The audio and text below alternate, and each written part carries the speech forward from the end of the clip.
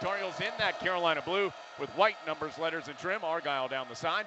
Georgia Tech in home white as McAdoo turns around and scores from the left baseline. Received the entry pass from Tokoto. One minute gone by, 2 0 Tar Heels. McAdoo with a turnaround on the left baseline, the only point so far. Kennedy Meeks has it. He'll try that left baseline jump shot, it's good. So McAdoo and Meeks from about the same spot on the floor at top of the key. Drives left of the lane. His floater is well short. Rebound tip to McDonald. Two on two break. McDonald to Paige. Back to Leslie for the layup left side.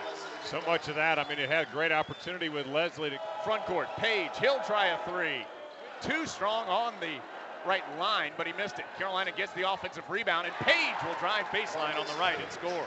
Well, time and again, that time you see the value of the offensive rebound. Between the circles, has the bigger Joel James guarding him, so he tries to drive by him, gets right to the rim, and lays it in. Yeah, that, that was just a mismatch. I mean, there's no reason why Leslie McDonald was on Kam Holsey, and that's exactly where Joel should have been, uh, but he wasn't. Alley-oop, Brice Johnson finishes it off with the big dunk. Nice pass by McDonald. Mean, there hasn't been a lot of just knockdown, drag-out half-court sets that would generate a lot of those fouls.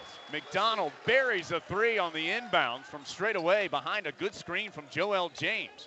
But McAdoo will gain possession and slow things down. 20 on the shot clock for the Heels. They're down one. McAdoo, left elbow jumper is good. Four points for McAdoo. McDonald with five and McAdoo with four, leading the Tar Heels scoring. He has it. Now over to Paige on the right wing. To McDonald. Loops a pass down low to McAdoo. Good catch in traffic, and he's able to strongly finish with the layup. Carolina will have it baseline left to inbound it in a two-point lead. Inbounds to McAdoo. Drives hard. Shot good, and the foul. McAdoo caught the inbound air, went right down the baseline, scored, and he'll have a chance at a three-point play. A zone for Georgia Tech. Paige Drops it down low to Brice Johnson. Quickly shoots and scores from the right box. Went off the glass for two. Heels have been so good at that for so long as Meeks gets it to Johnson and he goes underneath the rim for the dunk and Brian Gregory needs a timeout. Just 11 on the shot clock for Carolina. McDonald back to Paige, leaves it down low to Johnson, gets caught in the air out to Tokoto. 15 footer is good from the right. Well, the key to that was that Brice Johnson found a cutting Tokoto. Georgia Tech closes the first half on a 10-2 run over the last five minutes and change. Tokoto with two turnovers and just one of five from the field, although he swishes that one from the left elbow. He got the rebound, just went right down the floor. Miller tried to go backdoor, tipped away by Meeks. McAdoo with the loose ball. To Paige, big break for the heels. To McDonald, leg, uh, hands it off to Meeks, and he lays it in from the right. McDonald with a nice look. McDonald right sideline, eyes the rim, Stutter step into the paint, lost the ball. Into Meeks' hands again, just three on the shot clock. Fade away, good. Kennedy Meeks to the rescue for the Tar Heels. Just three minutes gone by in the second half. Carolina's one point halftime lead, currently two, as McAdoo has it on the low block. Backs in on Daniel Miller, scores, and he's fouled. So McAdoo has a chance for the three point play. McDonald down low to James. Double team there, passes it in the right corner to Paige for three.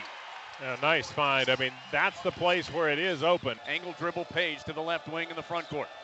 In the corner to Hicks on the left, right back to Marcus Paige. Thought about the three, instead downloaded Joel James. Hook shot is good. Couple nice decisive moves here the last few possessions for Joel James. Just 10 on the shot clock as he goes to Marcus Paige. He'll try the long two-point jumper and hit it.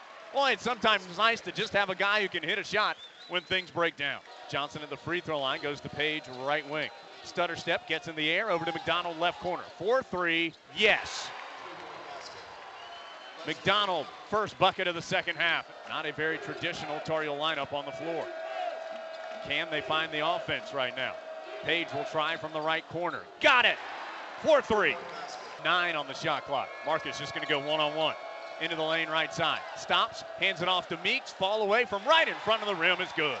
Paige got so deep that he forced the Georgia Tech defense to do something. Other direction, quickly, it is two more for Georges Hunt. To McAdoo in the paint. Goes right at Miller and scores on the left block. Yeah, good use of the left hand as he went up. Rebound though to Georges Hunt. He'll stick it back from the right, no good. Meeks with the rebound, gets the outlet pass to Paige, and he'll put the exclamation point on the ball game for the Tar Heels with the dunk.